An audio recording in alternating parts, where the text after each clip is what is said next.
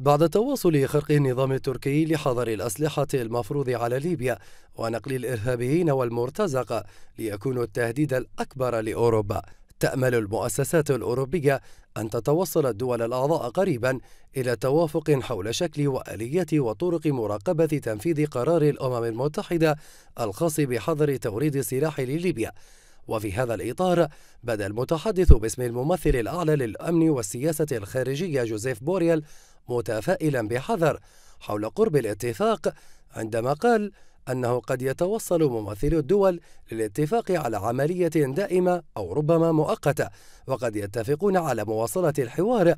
ومن المنتظر أن يتبلور الأمر أكثر خلال اجتماع وزراء خارجية الدول الأعضاء في الاتحاد المقرر في السابع عشر من الشهر الحالي في بروكسل.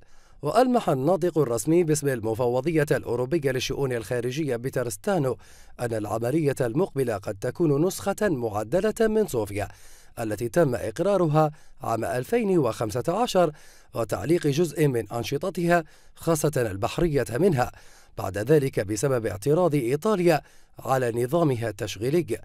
وتثير مسألة المراقبة الأوروبية لقرار الأمم المتحدة بشأن حظر توريد السلاح لليبيا الكثير من اللغط إذ تختلف الآراء حول صدقيتها وفعاليتها.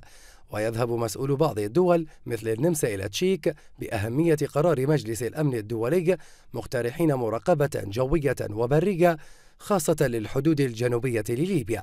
وتتبادل كافة الأطراف الدولية الاتهامات بالمسؤولية عن انتهاك قرار مجلس الأمن حول ليبيا لتستمر حالة الجدل الأوروبي حيال الخطر الذي تمثله الأفعال التركية في ليبيا وجنوب أوروبا.